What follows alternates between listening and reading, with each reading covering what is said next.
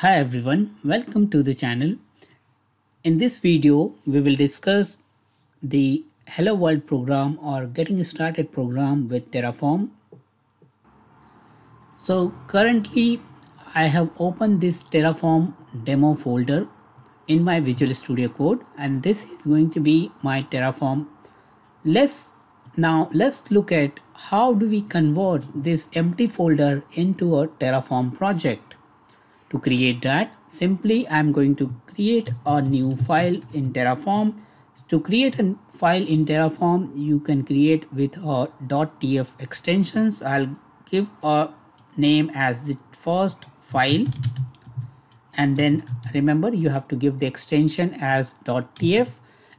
If you notice here, the as soon as I give the name as the .tf it changes the icon. So I have to change or to display this icon I'm using an icon display extension. If you want you can use that as well.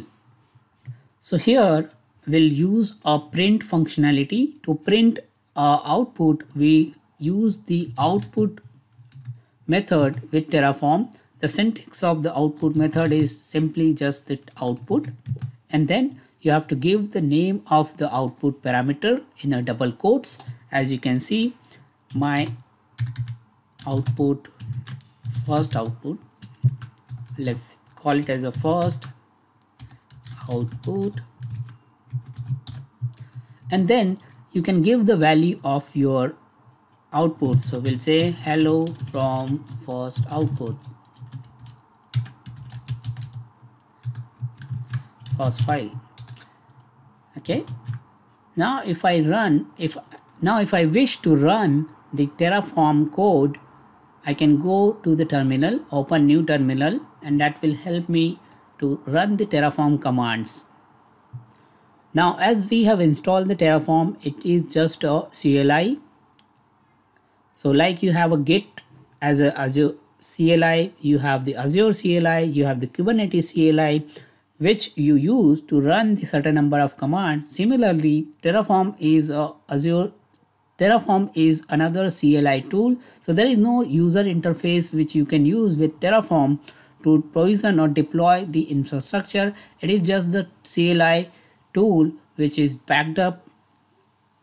It is the infrastructure as a code configuration language which is backed up by this CLI. So whatever code you've written to execute that you have to write or you have to run the terraform CLI command to print this option or to display this output. We can run either terraform apply or terraform plan command. So I'll be using terraform plan command just to see if it displays the output in my first underscore output variable. As you can see it is trying to display as the changes to the output which is first output with the value hello from the state file. So this was the simplest project we have. The project name is Terraform, which is created under my YouTube slash Terraform directory and we have just one single file. Let's create another file. We'll call it as the second file. And here we'll be using the same output but the name will be giving different. Of course we cannot give the same name. So now if I rerun the program as we have two files with one output in each we are expecting the two different outputs. Now what does it means that the terraform the way it works is when you run the terraform command on a folder Terraform compiles all your Terraform configuration into a single file or single executable file uh, and then it runs that executable file with the help of the command. Now let's create another file. We'll give it a name as another file.tf. You can see that I can create any number of file with any name as such. It just I have to give the extension as the tf one and now I'll be using or I'll be giving a new output variable. Here I'll say another file. Let's see how does it works. As you can see I have three different files and the outputs, even though I have created the first file, I have created first and then second file I have created second and then I have created another file which is a third file but alphabetically it is arranged in the uh, these files are arranged in an alphabetical format and when the file gets executed Terraform executes the output in the alphabetical order.